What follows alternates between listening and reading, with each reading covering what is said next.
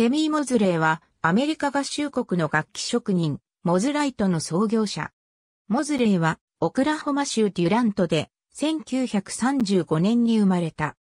彼の一家はカリフォルニア州ベーカーズフィールドへやってきたオクラホマからの移住者たちの多くと同様の経路をたどり、まず1938年にアリゾナ州チャンドラーに移り、ついでその2年後にカリフォルニア州ベーカーズフィールドへ移住した。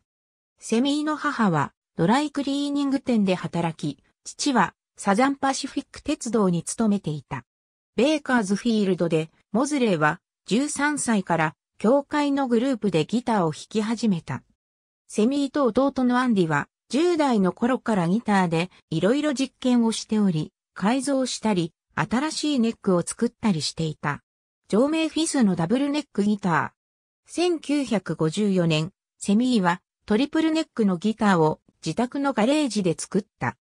これは一番長いネックが普通のギターで、二番目が1、オクターブ高い音、最も短いネックは8弦のマンドリンになっていた。セミーは自作のダブルネックギターをロサンゼルス周辺でテレビ出演者として知られていた上名フィスに送った。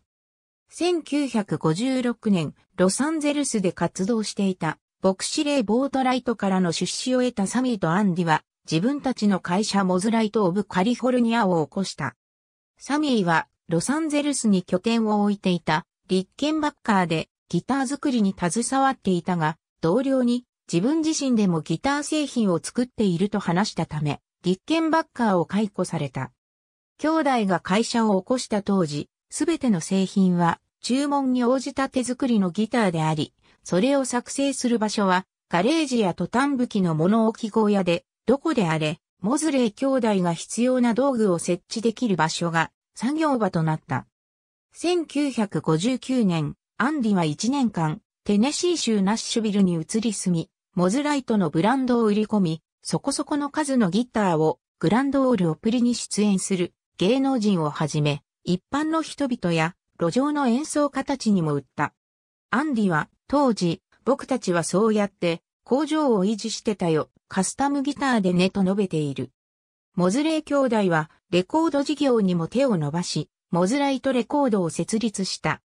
彼らはまだ10代だったバーバラ・マンドレルと契約したが、彼女はカリフォルニア州オーシャンサイドのレコード店のオーナーで、モズライトのギターも扱っていたアービー・マンドレルの娘であった。他にも、ギタリストのロニー・セッションズなどがこのレーベルと契約した。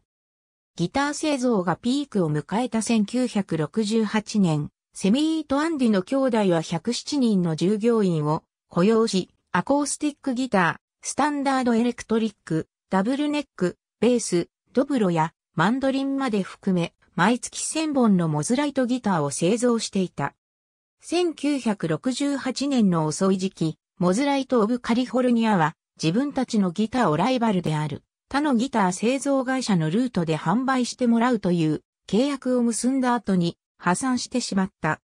これ以降、モズライトは小売店と直接に取引しようと努めるようになり、1969年には280本のギターを売ったが、ある日、彼らの工場は封鎖されてそれ以上の仕事はできなくなった。破産から2年後、セミーはモズライトのブランドを取り戻すことができ、1970年にベーカーズフィールドに近いパンプキンセンターでギター制作を再開した。